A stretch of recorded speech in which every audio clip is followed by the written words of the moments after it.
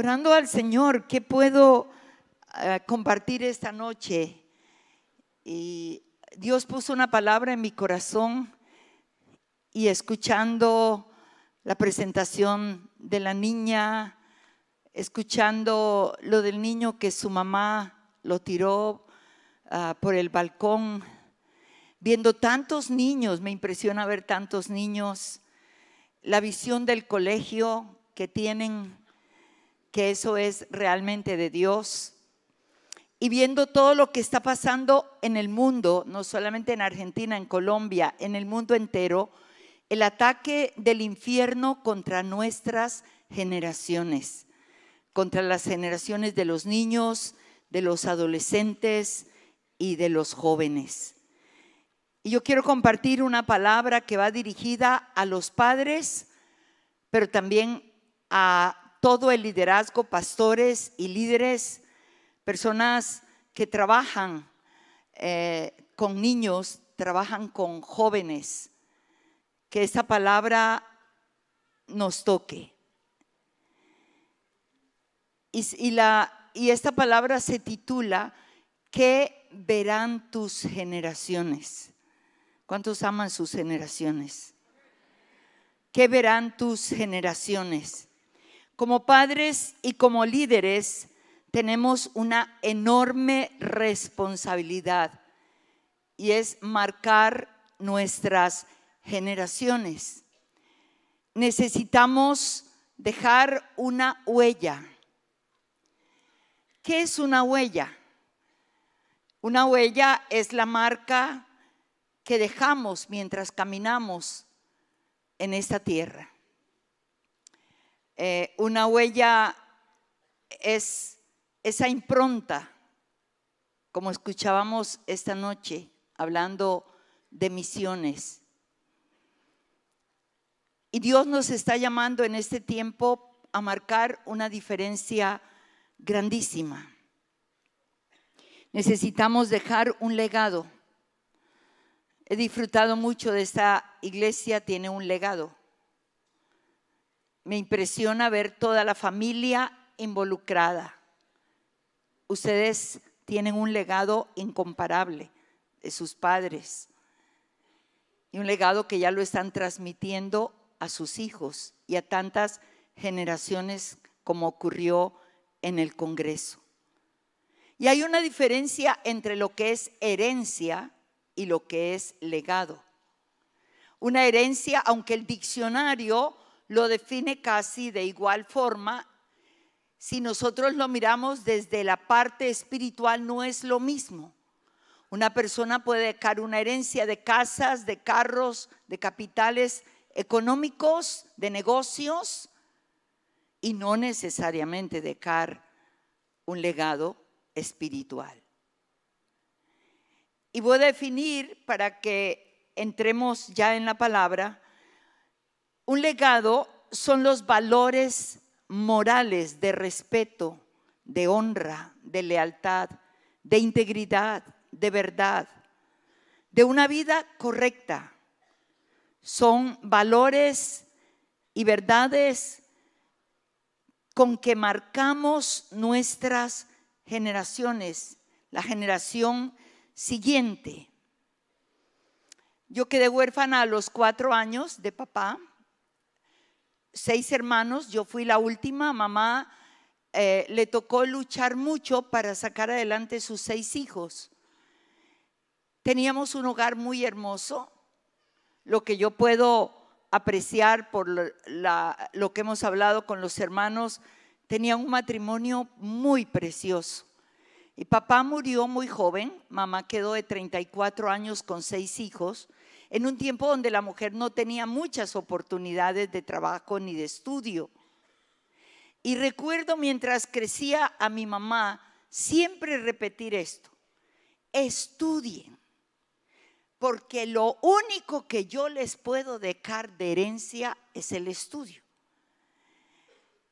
Ella pensaba, no les puedo dejar riqueza, pero les puedo dejar el estudio y ustedes se pueden defender en la vida con el estudio.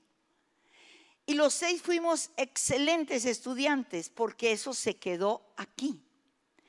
Cuando conozco al Señor y comienzo a caminar en este camino maravilloso, al estudiar la palabra, al mirar la dimensión de familia respecto a la Biblia, me doy cuenta que la mejor herencia que tú le puedes dejar a alguien, el mejor legado, no es el estudio, eso es parte, pero que realmente es lo que hemos mencionado, los valores, los principios, la fe en Dios, como Loida y Eunice le dejaron y le impartieron a Timoteo, algo que para Pablo fue tan extraordinario, no fue Pablo el que eh, plasmó la fe en Timoteo, fue su abuela Loida y fue su madre Eunice. Así es que un legado realmente es dejar todo la serie de principios, de valores. Un legado es dejarte tú en tus generaciones, es dejar el corazón de tus generaciones marcados por buenas tradiciones, por, por buenos principios. Un legado es también dejar en los hijos la manera de ver la vida a través de Cristo. Y esto es muy importante. Esa huella que debe marcar. Eh, a nivel internacional, mi cobertura eh, es Mundo de Fe, son los pastores Holland. Y ellos realmente han marcado sus generaciones de una manera muy preciosa. Eh, él comparte algo que pasó cuando era misionero en Costa Rica. por mucho tiempo fueron misioneros en tu país. Y para ese tiempo su hijo mayor, Steven, tendría como unos seis añitos. Dice el pastor Holland que tenía que ir a otra parte de allí para poder pasar dos días eh, mirando una obra que apenas estaba creciendo. Esa parte del país era zona pacífica, el mar Pacífico. El mar Pacífico tiene seis horas de subir el agua, seis horas de bajar el agua. Yo, yo vengo de, de, la costa pacífica y hay ciertos viajes que hay que planearlos de acuerdo a la altura del agua que tenemos para poder llegar a cierto destino. Y él dice que salieron a las 5 de la mañana, el guía los llevó por el bosque para poder llegar al punto de eh, encontrar la canoa y salir rápido, aprovechar la marea alta. Y mientras atravesaban el bosque para llegar donde estaba la playa y la canoa, eh, llovió, eh, la tierra empezó a empantanarse y el, el, guía les decía, tenemos que acelerar, tenemos que acelerar porque se nos pasa la hora de la marea. Entonces iba muy rápido y dice el pastor Ralph que él iba muy rápido y Steven venía atrás y en un momento él sintió que su hijo estaba como agitado y él volteó y miró a Steven y le dijo, hijo, voy muy rápido. Y el niño estaba haciendo así, dijo, no, papá, estoy tratando de pisar donde tú pisas para no hundirme. Eso es una huella. Tú y yo necesitamos dejar esa huella para que nuestros hijos pisen con seguridad. No importa que este mundo se derrumbe, si nosotros dejamos el cimiento de la fe en Cristo, ellos permanecerán eternamente. Gloria al Señor. Y aquí es donde voy a ir a la palabra. Los capítulos 4 y capítulo 7 del libro de Josué nos hablan de dos monumentos. Por eso el título del mensaje es ¿Qué verán tus generaciones? Y nos habla de dos monumentos. Un monumento es una obra de arquitectura, es una escultura, un grabado que se hace en una ciudad, en un pueblo, para recordar a una persona o para recordar un suceso importante. En la ciudad de Buenos Aires está el obelisco que es muy famoso en el mundo entero. Eso es un monumento. En España, en Madrid encontramos tantos monumentos, ¿no? Cada uno de nuestros países tiene un monumento. Y Dios habló a Josué acerca de levantar un monumento. Yo quiero hablarte de dos monumentos que tú a lo largo de tu vida y yo vamos a dejar ¿Qué verán nuestras generaciones? ¿Qué clase de monumento estamos levantando para dejarles? Y vamos a ir al primer monumento que se llama el monumento de Gilgal. Y lo encontramos en el libro de Josué, capítulo 4, versículos 1 al versículo 8.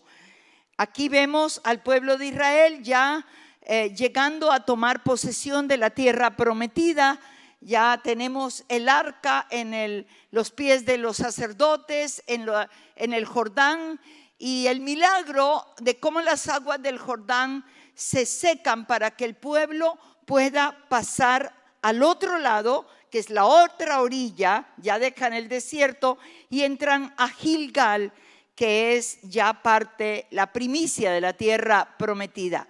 Y dice el capítulo 4, versículo 1 al 8, cuando toda la gente hubo acabado de pasar el Jordán, Jehová habló a Josué diciendo, tomad del pueblo doce hombres, uno de cada tribu, y mandadles diciendo, tomad de aquí, de medio del Jordán, del lugar donde están firmes los pies de los sacerdotes, doce piedras, las cuales pasaréis con vosotros y levantadlas en el lugar donde habéis de pasar la noche.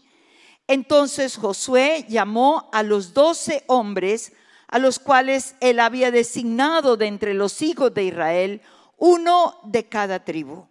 Y les dijo Josué, pasad delante del arca de Jehová vuestro Dios a la mitad del Jordán, y cada uno de vosotros tome una piedra sobre su hombro conforme al número de las tribus de los hijos de Israel, para que esto sea señal entre vosotros. Y cuando vuestros hijos preguntaren a sus padres mañana diciendo, ¿qué significan estas piedras? Les responderéis que las aguas del Jordán fueron divididas delante del arca del pacto de Jehová cuando ella pasó el Jordán las aguas del Jordán se dividieron y estas piedras servirán de monumento conmemorativo a los hijos de Israel para siempre. Y dice el versículo 8, y los hijos de Israel lo hicieron así como Josué les mandó. Tomaron doce piedras de medio del Jordán, como Jehová lo había dicho a Josué, conforme al número de las tribus de los hijos de Israel y las pasaron al lugar donde acamparon y las levantaron allí. Israel necesitaba recordar para siempre y agradecer a Dios por su incomparable bondad. El paso del Jordán de manera milagrosa. Y aquí vemos ese monumento, un monumento que era un acto conmemorativo a todo lo que Dios había hecho. Era el propósito, uno de los propósitos del monumento, para que el pueblo nunca olvide. Cuando vean esas piedras, recuerden cómo pasaron el Jordán. Recuerden que fue el tiempo de entrar a la tierra que Dios había prometido. Ese monumento quedará allí para sus generaciones como un recordatorio de todo lo maravilloso que Dios ha hecho. Y hoy nosotros en nuestros hogares necesitamos levantar este monumento. Pues por supuesto no vamos a llevar piedras a nuestra casa, pero podemos llevar las piedras del testimonio. Nuestros hijos necesitan crecer con nuestra referencia. Hoy vivimos en esta casa, bajo este techo, porque Dios nos dio para comprar esta casa. Hoy tú estás en la universidad porque Dios ha provisto todo para que tú estudies tu carrera. Hijo, hoy podemos comer, hoy tenemos vestido, hoy tenemos esto, tenemos lo otro, porque Dios, hemos olvidado aún la oración tan sencilla de cada día alrededor de nuestra mesa, de bendecir los alimentos. Hoy nos hemos olvidado, lo consideramos un acto ya religioso. No, no, no. No haga una oración kilométrica, pero usted puede agradecer a Dios por el alimento que Dios pone a través de su trabajo en nuestra mesa. Necesitamos sobresaturar sabiamente el corazón de nuestros hijos con Dios. Eso es lo que Dios nos está pidiendo. Las piedras del testimonio.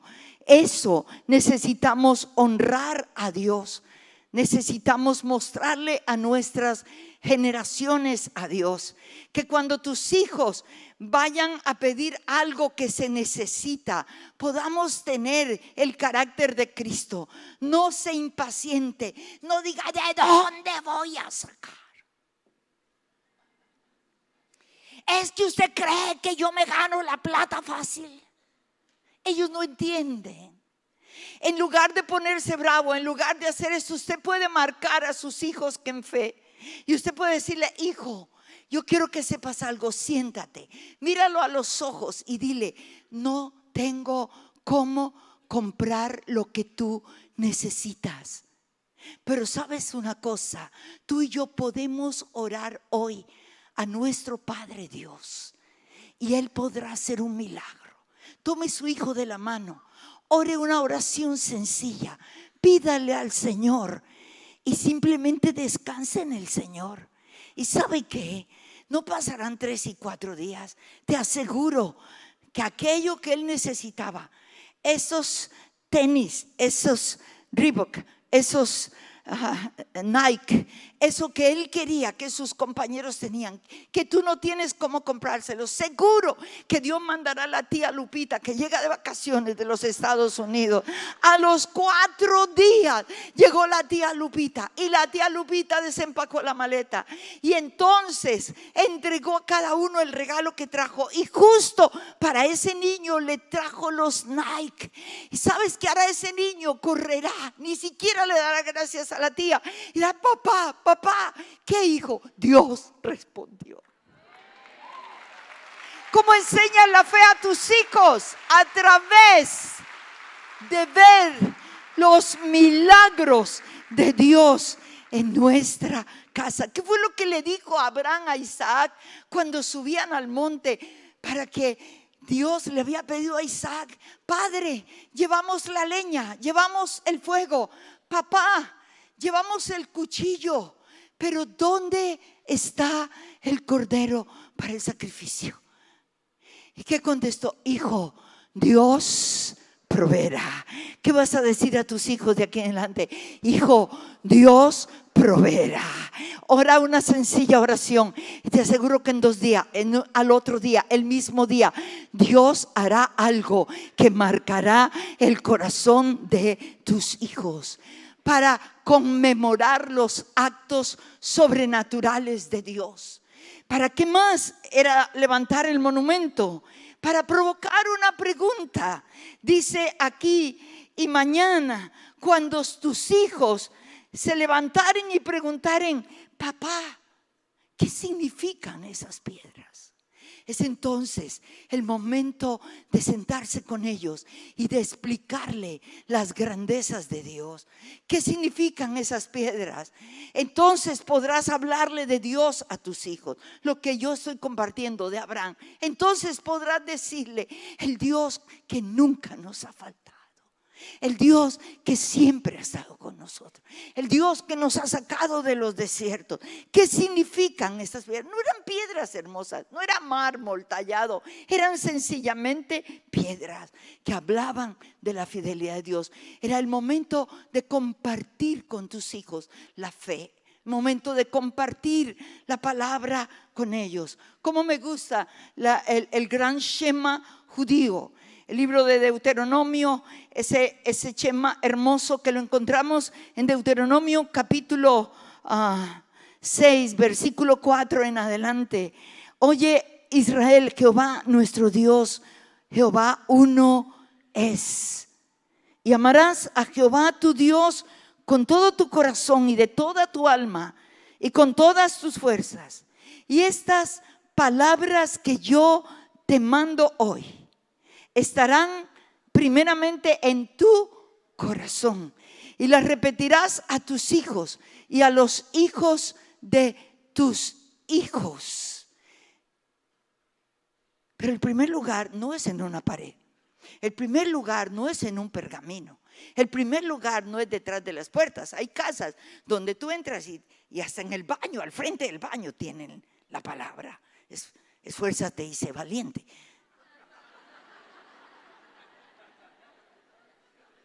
Pero antes de ponerla en la pared, tiene que estar en tu corazón. Antes de repetirla a tus hijos, tiene que estar en tu corazón. ¿De qué me habla eso? De que yo tengo que vivir esa palabra para que haya coherencia entre lo que les estoy enseñando. No esperes que la iglesia instruya a tus hijos en la fe. La iglesia solo podrá aportar semanalmente un 20%. Ellos tienen que ser instruidos en casa. Y necesitamos enseñarles.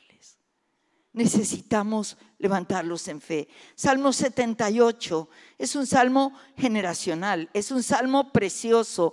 Los primeros seis versículos dice, escucha pueblo mío mi ley, inclinad vuestro oído a las palabras de mi boca.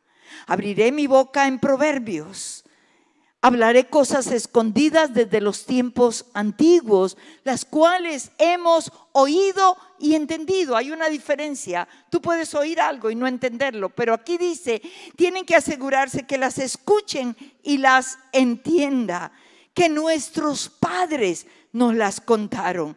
No las encubriremos a sus hijos.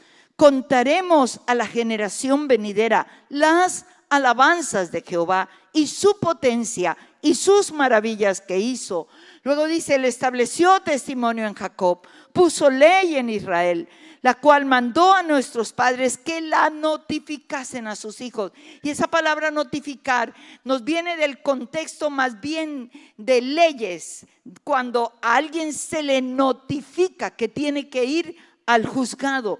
Es una urgencia allí dice, la notificaremos a nuestras generaciones, se las contaremos para que sepa la generación venidera y los hijos que nacerán y los que se levanten, la cuenten a sus hijos a fin de que pongan en Dios su confianza y no se olviden de las obras de Dios.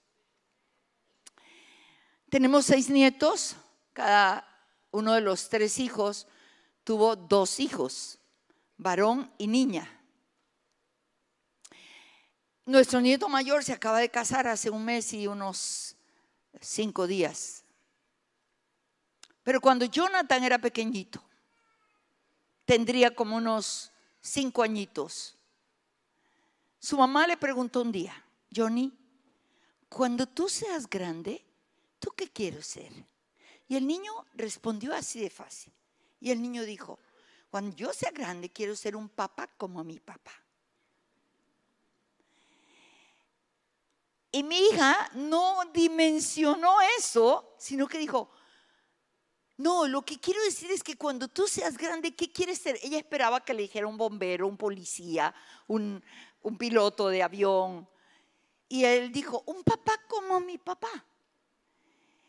Bueno, si vas a ser un papá como tu papá, tienes que tener una profesión, tienes que trabajar para aportar para la casa. Y le echó el cuento. Entonces, Jonathan, ¿qué quieres ser cuando seas grande? Y él dijo esto. Entonces quiero ser un pastor como mi pastor. Y a esos cinco años tenía dos modelos. Uno, su padre. Otro, su pastor. Hay muchos niños que estarán en la iglesia que no tienen un padre como referente, pero tendrán un pastor. Te tendrán a ti. Es marcar. Ese monumento era precisamente para marcar esa generación. Y necesitamos hoy más que nunca marcar nuestras generaciones para Dios. Si no las marcas tú, las va a marcar el mundo. Si no las marcas tú, las va a marcar la ideología de género. Si no las marcas tú, las van a marcar en la escuela, en el colegio. Y nosotros tenemos la obligación de marcar nuestras generaciones. No solo las de carne y sangre. A estas alturas del ministerio me gozo, me gozo con la cantidad de gente que hoy a través de los medios tú puedes marcar. Gente que ni conozco, gente que te conoce, pero gente que te escribe. No sabes la huella que has dejado en mi vida. Y porque te escuchan sencillamente. Es tiempo de marcar nuestras generaciones y de levantar el primer monumento que se llama el monumento de Gilgal. Lo estás levantando en casa. Pero hay un segundo monumento que encontramos aquí también en el libro de Josué. Es el monumento de Acor, diga conmigo, Acor. Y aquí lo encontramos en el capítulo 7 ah, del libro de Josué. Ellos ya han llegado a la tierra, ya han conquistado la primera ciudad que se llama Jericó. Y antes de tomar Jericó, Dios les había dado una orden. La orden que Dios le dio a Josué antes de tomar la primera ciudad la encontramos en el capítulo 6, versículo 18 al 19. Y el Señor les dijo, pero vosotros guardaos del anatema, no toquéis no toméis alguna cosa del anatema, no sea que hagáis anatema el campamento de Israel y lo turbéis. Versículo 19, mas toda la plata y el oro y los utensilios de bronce y de hierro serán consagrados a Jehová y entrarán en el tesoro de Jehová. Era la primicia de la primera batalla y esa primicia no era un botín que podían repartir los guerreros. E, ese botín primero le pertenecía al Señor. Él lo pidió para él. Nadie podía tocar nada, ni oro ni plata. Todo sería consagrado a Dios. De allí para adelante, todas las ciudades que ellos tomaran el botín les pertenecía. Pero esa ciudad de Jericó, el botín sería para el Señor. Fue la orden. Entonces, ellos conquistan Jericó. La victoria fue grande. Los muros cayeron. Dios usó su pueblo, Dios estuvo allí y conocemos la victoria de Jericó. La segunda ciudad que ellos tenían que tomar se llamaba Ahí. Y era como decir que Jericó era una ciudad hoy día eh, como Buenos Aires y ahí era como un pueblo pequeño que ellos tenían que tomar. Comparado con Jericó, era una desproporción. Antes de entrar a la segunda ciudad, Josué reunió sus guerreros y llegaron a la conclusión que no se necesitaban muchos guerreros para tomar la ciudad de allí. Que con unos pocos que mandaran, los habitantes de ahí eran pocos, los guerreros eran pocos. Pero cuál la sorpresa que cuando ellos llegan a esa ciudad para tomarla, los de ahí los derrotan, pierden algunas vidas y tienen que salir corriendo y tienen que huir. Cuando ellos llegan frustrados, derrotados, y Josué se entera, Josué cae al suelo y empieza a hablar con Dios y a orar y a recriminarle a Dios, ¿por qué? ¿Por qué no sacaste? ¿Por qué permitiste esta derrota? Y Dios tiene que decirle a Josué, Josué, es que yo no no propicié esto. Hay pecado en el pueblo. El pueblo ha pecado. ¿Cómo así que el pueblo ha pecado? Ese es el peligro y quiero hacer una anotación. Ese es el peligro cuando entramos en la guerra espiritual. Un guerrero que vaya mal, habrá retaliación. No podemos subestimar al enemigo, no le podemos tener miedo, pero no podemos subestimar. Nosotros en Argentina, en Colombia, en tantas partes, las vueltas, los helicópteros echando aceite, los carros, eh, tomando las ciudades, dándole vuelta a Washington, D.C. Y, y Estados Unidos está peor. Aceite por todas partes.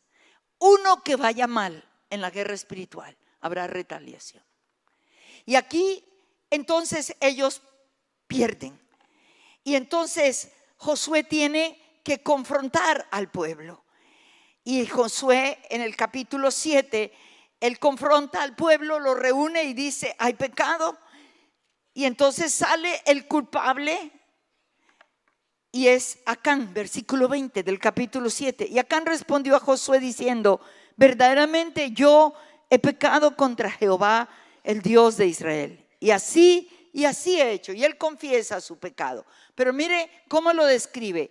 Pues vi entre los despojos un manto babilónico muy bueno, 200 ciclos de plata, un lingote de oro de peso de 50 ciclos, lo cual codicié y tomé, y he aquí que está escondido bajo tierra en medio de mí se lo voy a poner en nuestros términos. Lo enterré allí debajo de mi casa y el dinero está allí. Josué pues envió mensajeros, los cuales fueron corriendo a la tienda y aquí estaba escondido en su tienda el dinero debajo de ello. Tomándolo de medio de la tienda, lo trajeron a Josué y los hijos de Israel y lo pusieron delante de Jehová. Entonces Josué y todo Israel con él tomaron a Acán, hijo de Sera, el dinero, el manto, el lingote de oro, y escuche lo triste, sus hijos y sus hijas, sus bueyes, sus asnos, sus ovejas, su tienda y todo cuanto tenía, y lo llevaron todo al valle de Acor. Y le dijo Josué, ¿por qué nos has turbado? Túrbete hoy Jehová en este día. Y todos los israelitas los apedrearon y los quemaron después de apedrearlos. Y levantaron sobre él un montón de piedras, diga, segundo monumento, que permanece hasta hoy. Y Jehová se volvió del ardor de su ira y por esto aquel lugar se llama el Valle de Acor hasta hoy. La palabra Acor significa turbación, significa muerte. Ese fue el lugar donde Israel fue turbado, el Valle de Acor.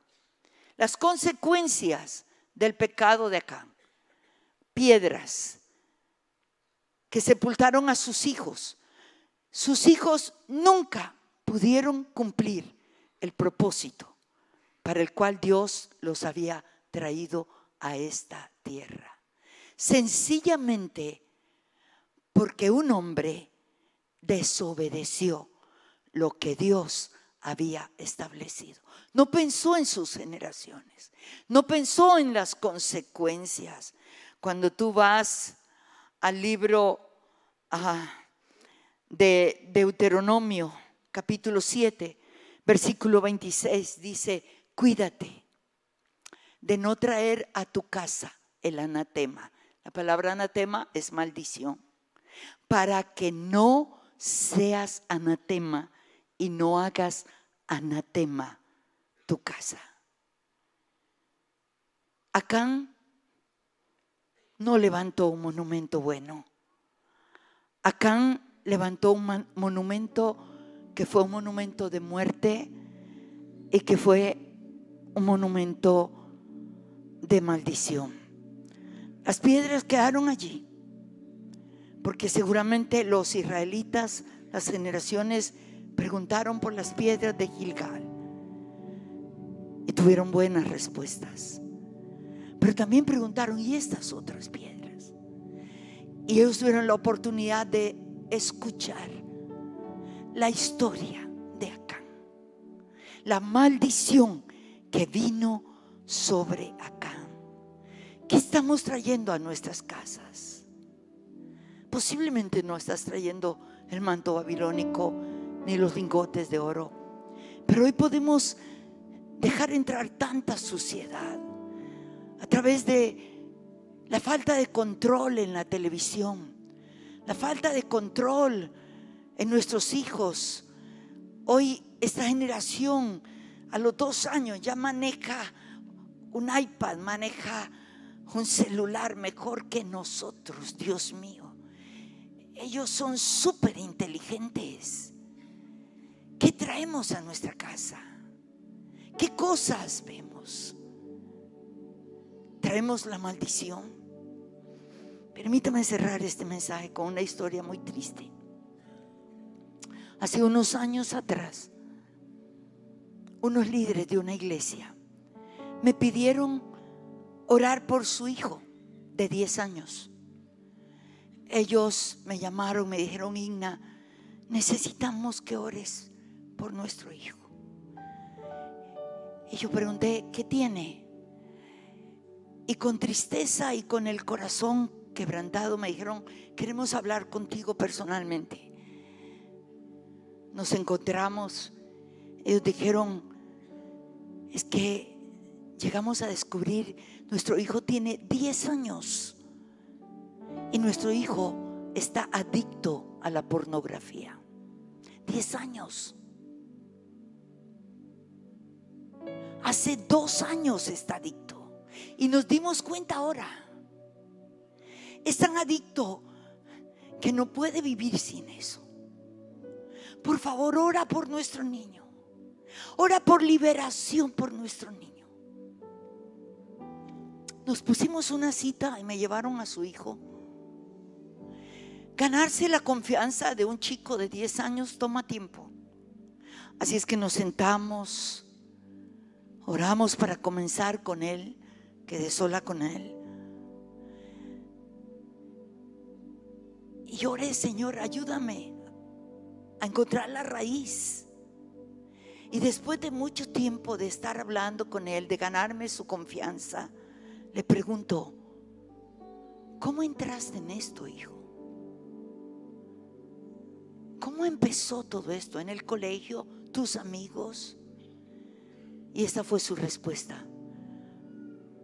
Cuando yo tenía ocho años, una tarde me metí al computador de papi para bajar jueguitos. Y eso fue lo que apareció en el computador. Y seguí viendo y seguí entrando. Y al cabo de estos dos años, ese niño de 10 años ya llevaba dos años de pornografía. Fue muy triste. Eso no, eso no va a desaparecer con una oración de liberación. Eso hay que darle un tratamiento, un seguimiento. Es un trabajo. Pero cuando hablé con sus padres, ellos juraban que ya el niño había quedado libre. Entonces hablé con su papá y su mamá. Y me dice, ¿te dijo cómo comenzó? Yo dije, sí. Y yo quiero decirles a ustedes, a ti, que el que necesita liberación eres tú. Tu hijo está atrapado en la pornografía porque en tu computador encontró la pornografía. ¿Qué ves tú en casa? Tus hijos pequeños, ¿qué ves tú? Nadie se da cuenta. Pero entra la maldición a tu casa. Necesitamos caminar en la dimensión de que nuestras generaciones serán bendecidas hasta mil generaciones. Y toda maldición de iniquidad que hayamos heredado, que vienen en nuestra línea familiar, necesitamos limpiar nuestra línea generacional, porque hoy estamos en Cristo y hay redención en Cristo y hay liberación en Cristo y Él murió por los pecados nuestros y por las iniquidades. Dos monumentos, el monumento de Gilgal y el monumento de Acor. ¿Qué monumento decidimos levantar en nuestras casas? Hoy toca estar pendiente. Hoy no podemos dejar los hijos solos. Hoy necesitamos marcar, dejar una impronta en sus corazones y en nuestros hogares. Levantar el monumento de Gilgal. Que ellos puedan saber que hay un Dios que vive en nosotros, que está en nosotros y que realmente necesitamos seguirle. Allí donde tú estás, si tú eres padre, si tú eres mamá, ponte en pie por un momento. Si tú tienes a cargo jóvenes, niños y trabajas con ellos, ponte en pie y permíteme orar en esta noche. Abuelos que están aquí, qué buen trabajo tenemos los abuelos con los nietos. Allí donde tú estás, por un momento, levanta tus generaciones. Levanta tus dos manos y al levantar tus dos manos, levanta tus hijos. Tomemos solamente dos minuticos para orar.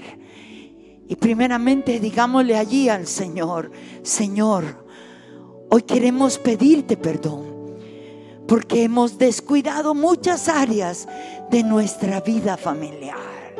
Hoy, Señor, estamos delante de ti y queremos cada uno de nosotros determinarnos, abra sus labios y diga, hoy me determino a levantar las piedras del testimonio en mi a levantar las piedras del testimonio de la fidelidad a ti, de la lealtad a ti, el testimonio de la palabra, el testimonio de contarle a mis generaciones en cada mañana, en cada tarde, en cada noche, de tomar tiempo para orar con ellos, de tomar tiempo para enseñarles la palabra, de tomar tiempo para dejar plasmada la fe como la dejó Abraham en Isaac cuando le dijo, no te preocupes hijo, Dios proveerá el cordero para el sacrificio, de plasmar en el corazón de nuestros nietos y de nuestros hijos y de nuestros sobrinos, Señor, en un tiempo tan crítico de la historia que estamos viviendo,